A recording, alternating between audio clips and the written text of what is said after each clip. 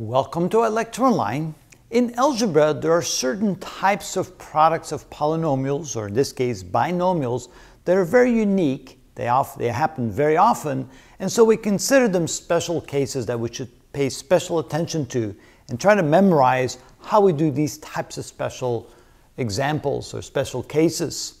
So we have some theoretical ways of approaching them, and then we'll show you some examples that then apply what we will have learned. So if we have a binomial like this, a plus b, and we square that, it's essentially a plus b times a plus b. The result of that is that it's the first term squared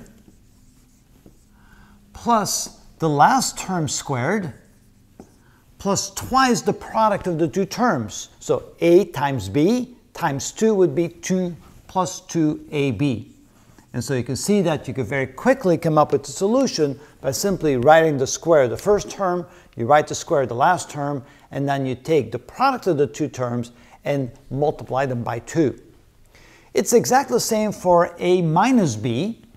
Again, we take the first term, we square it. We take the last term, square it. Minus b times minus b is plus b squared. And then the product, a times a negative b, is a negative ab times 2 gives you a negative 2ab. And then if we multiply a plus b times a minus b, the result is the first term squared minus the last term squared. Now, how do we know that's the case? So let's go ahead and show you why that is indeed true. If we take a plus b and we square it, that's essentially a plus b times a plus b. And then if we apply the same rule as we did before, we take the first term and we multiply times each of the two terms in the second polynomial, or in this case binomial. You take the second term, you multiply times each of the two terms in the second binomial. This would then become a times a, which is a squared, a times b, which is plus ab. Then we take b times a, which is plus ab, and b times b, which is plus b squared. And when we add the like terms together, that gives you a squared plus 2ab plus b squared.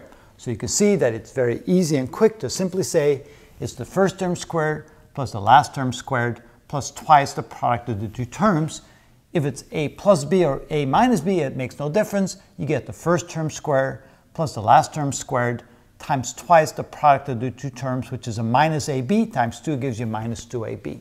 And so it works exactly the same for a minus b. Now what about when you multiply these two together? By the way, why don't we show you, just so we can be sure that it works that way as well. How about a minus b quantity squared, which is a minus b times a minus b.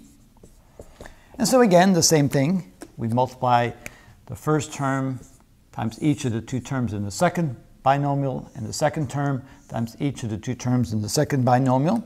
So we get a times a, which is a squared, a times the negative b, which is a minus ab, then minus b times a, which is another minus ab, and minus b times minus b is a plus b squared. If we then combine the like terms, this gives us a squared minus 2ab plus b squared, just like what we had over here. And finally, what happens to the middle term here? Well, if we have a plus and a minus, then the middle term simply drops out. Let's take a look. So here we have an a plus b times an a minus b. So again, using arrows, we multiply the first term times each of the two terms in the second binomial, and the second term times each of the two terms in the second binomial. So here we have a times a, which is a squared, a times a negative b, which is a minus ab, a b times a positive a, which is a plus ab, and here you can see that, yes, indeed, the middle term will cancel out, and a plus b times a negative b is a minus b squared. And so those two terms drop out, and up with a squared minus b squared, just what we had over here. Those three, those three types of products come up so often in algebra and other kinds of applications that it's really helpful to simply remember how to do those outright without having to go through this process. It will save you quite a bit of time. So let's apply that what we have over here. So we have x plus 3 quantity squared. So we said it was the first term squared plus the last term squared, 3 times 3 is 9, and plus twice the product of the two terms.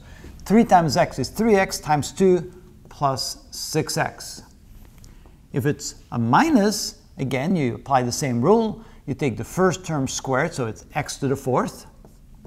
The last term squared, which is a minus 4 times minus 4, which is a plus 16, and twice the product of the two terms. A minus 4 times x squared is a minus 4x squared, times 2 is a minus 8x squared. See how much quicker it is to do it that way?